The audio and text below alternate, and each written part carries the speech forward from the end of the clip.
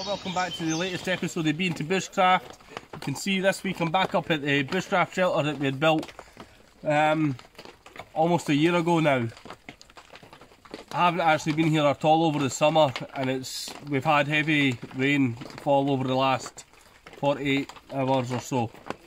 So I'll take a walk around the camp and show you a wee bit of water damage that's happened since we've last been up here and show you what it is that we're going to be doing while we're up here.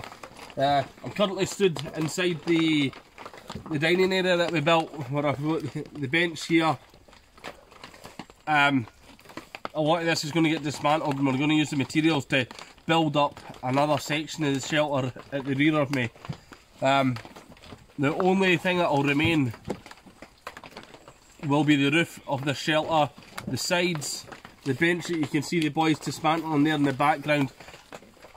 All that wood is going to get taken away and used as building materials for around the back of the shelter which I'll take you around and show you in a minute. Um, apart from that, we've only got a couple of hours of daylight left. It's already gone 3 o'clock in the afternoon. We're now in autumn here in Scotland so it gets dark around 5pm in the afternoon but because we're in a dense forest that's more likely to be closer to 4pm so we may only have an hour or two daylight left. So we'll get cracking but before I get cracking on I'll take you around and show you what it is that we're planning to do with these uh, materials. So you can see there that's the material that we are taking from inside the, that dining shelter that we had built. And what we're going to do is just use that to build up the walls at the back of the shelter and also the roof so that it will be the same as the back of the shelters here. But that's there isn't a very good example. Um, yeah, so it'll, it'll look more like that. You see this here actually needs, still needs a side built on it, this one here. So yeah. So all that remain of that part of the shelter there is the roof, which you see it is actually needing a wee bit of work done up the top there. So what I'll do is I'll bring these guys back later once uh, once we've got a bit of work done. So I was uh, telling you about the amount of rainfall that we had over the last couple of days. You can just see how much water is collected in that. And to be honest with you, I'm quite impressed actually that the, that the shelter hasn't collapsed and the amount of weight that must be in that. So yeah, it just goes to show that there's some wood needing to put in there to strengthen up that corner to prevent it from collecting in there. You can see the amount of sunlight that actually shines through the tarp there. So once the um, the back walls are built built up, that will really darken this area out. So you can see there where we'd actually tied the paracord around the tree here, it's actually caused the tree a bit of damage, which I'm not entirely happy about. It's caused the tree to bleed out this sap here, but that sap is highly resinous. So what I might do is I could scrape some of that off and use that for the firelighting later on. Since I removed the paracord there, uh, you can see that it was actually creating a seal and it's the tree's really badly damaged. Something to maybe bear in mind when we're building shelters in the future is the damage that a, a bit of paracord can do to a tree. I'm not sure if that's enough to kill the tree, but it's certainly not good for it.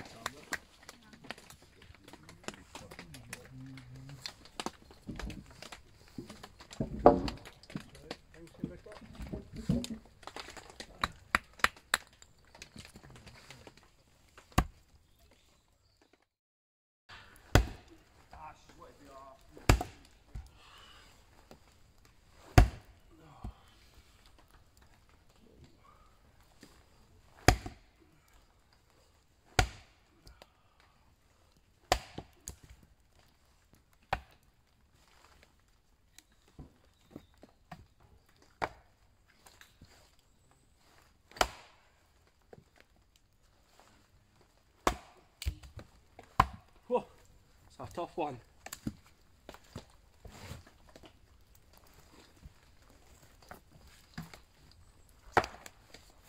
See if I can get it this time.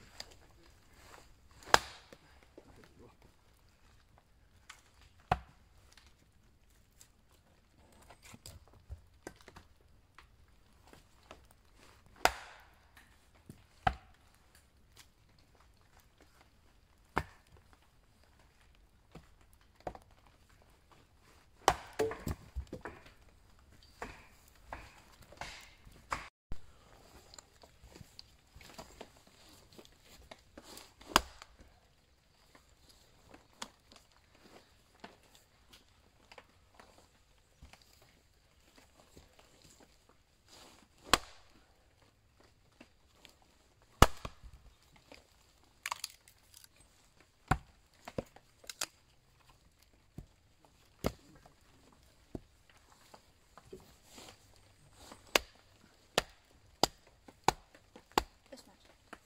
Perfect. So today we've got the, the, the camp apprentice out with us.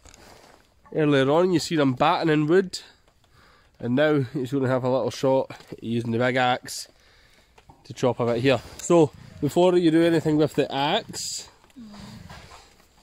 we have a chopping block here. So we're just taking off where we left off there. Um, Brian was round the back of the shelter using the chainsaw there so we cut that bit short back here again. So, chopping block, and that there's a wee bit of wood that he's going to cut, going to chop even. So, where do you think you should place that bit that you're going to chop? Where do you think you should place it on the block? That's right, at the furthest point away from him. So you can see where he's standing, you can see where he's placed it there. He's placed it at the furthest point away from him. And the reason he, he'll do that is I'll show you now. So see my hand's the axe here. If he misses that, it's going to strike either side or here. If you were to have placed that here and he missed, it could land either side or the axe could have fell short and it could have came round and hit him in the leg. So always place it at the furthest point away. So just before he chops it, we're going to talk about his body position, his hand position. So with his hands, he's right-handed. So he's going to put his right hand at the bottom of the axe and his left hand where he feels comfortable that he's going to get more control over it. If he were to have placed his left hand down at the bottom, yeah, he's going to get more power in the swing, but he's got less control over the axe. So he's going to place his hand further up towards the axe head. His feet are going to be apart so you can see, looking straight on the axe, if he were to miss swing, the axe would have further to travel to reach his back leg. Switch your feet around for me just now. So you can see if he were to miss swing there, what's going to happen? He's going to hit that leg at the front. So he has his feet the other way around. Safest way possible. So his hands are in the correct position, his feet are in the correct position. The piece of wood he's going to chop is in the correct position. When you go, take your time. You can see he struck it there, but not enough power. And there you have it. Easy as that. Safe. Safely done. You stand wherever you want. Ah. Come on then, let's see light this fire. Whatever you want. Just throw some sparks on that. Get in close to it. Closer. Right here. Closer. Put, put the, the rod on the wood. Okay. Get in the fire pit if you enough if you need to. Get right in there. Epic safety. There you go. Right, now get your wee sticks to there you start laying them on top. Like, just put them on? Yeah, like carefully though. Mind your fingers. Pattern, or... Any way you want, just watch your fingers. Yeah, it's hot. Just build it up round about it.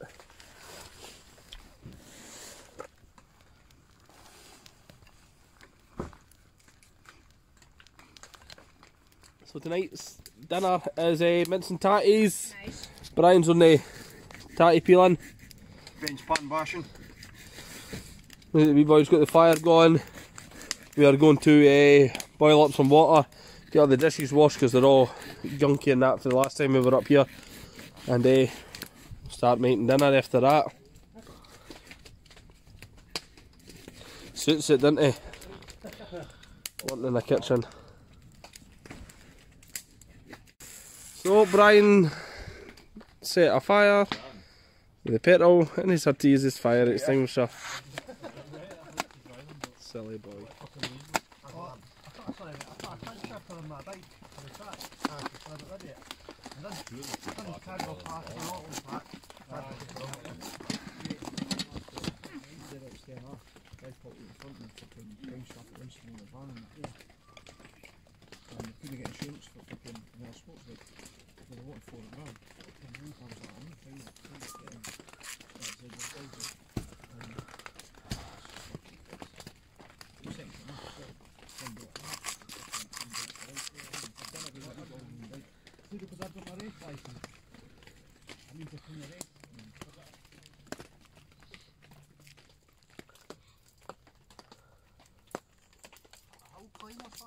Yeah. So the guy at bought it's going to be doing some sort of help coin. You run alcohol and everything.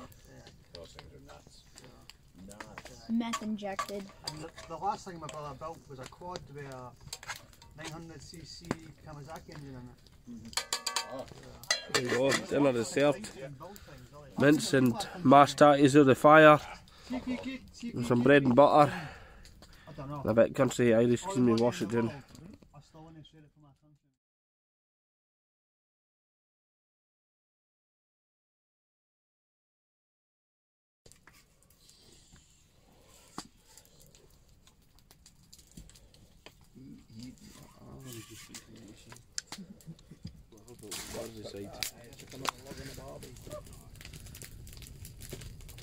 Where did you go for your training again?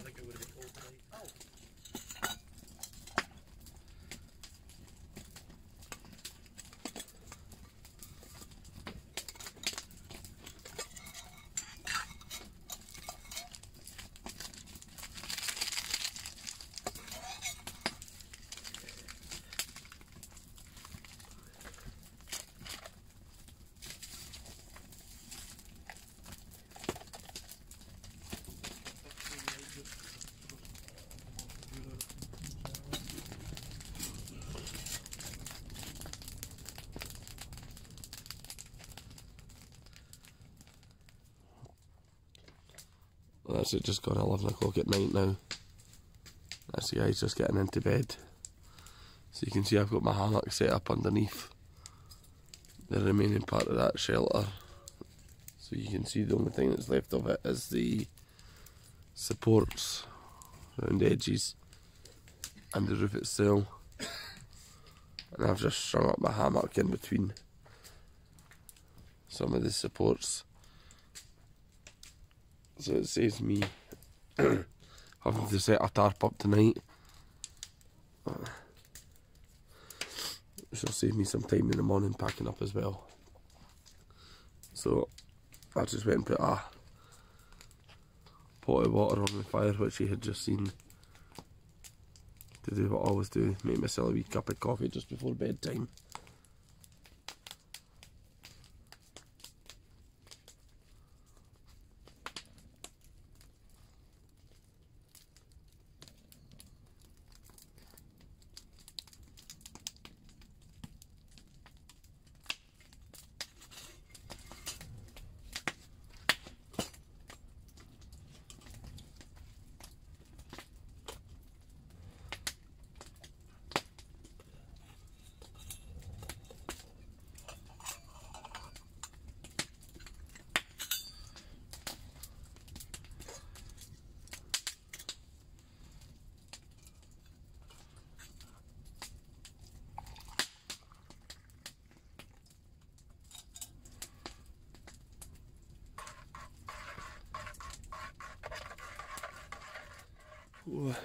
Well,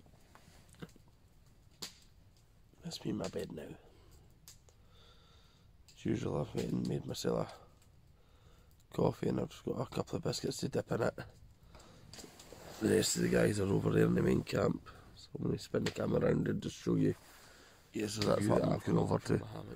Just looking over into the camp itself, so yeah, okay, it's probably a bit warmer over there because the heat circulates around inside the inside the camp.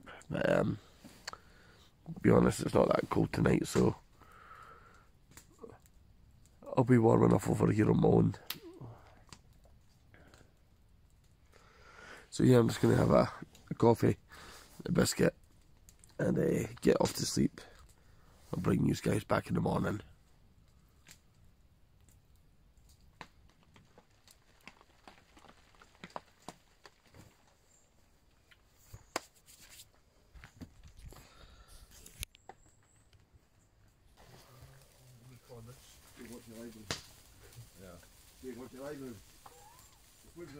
Right, so that's uh, all the guys up, packed their kit away, and uh, I packed away as you've seen as well. Not stopping and having any breakfast this morning, need to get back uh, down the road. I've got some family plans today, but it's something I touched on yesterday when I was taking the shelter apart was the damage done to the trees by the paracord. And I says that the tree resin there could be used as a firelighter. So what I'm going to do is I'm going to get the knife and just scrape a wee bit of that away, put it in a bundle and show you how easy it is to light a fire with that.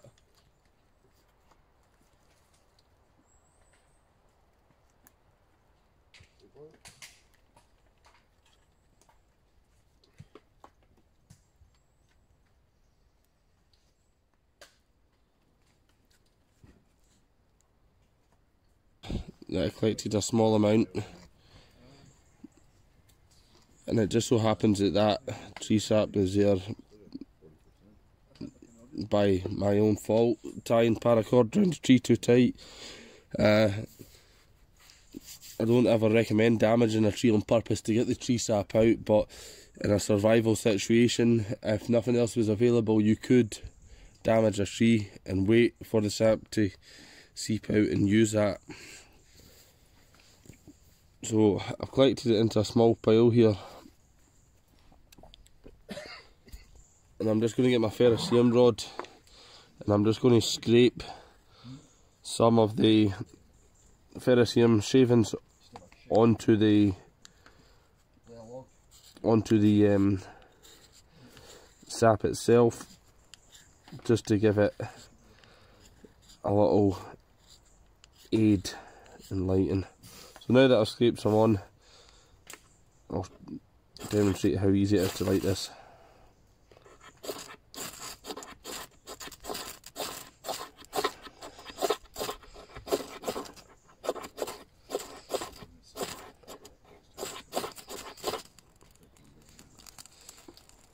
And as you can see that it takes a few attempts but once it does get going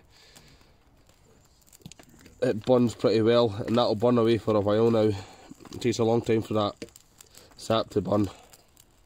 It is highly flammable.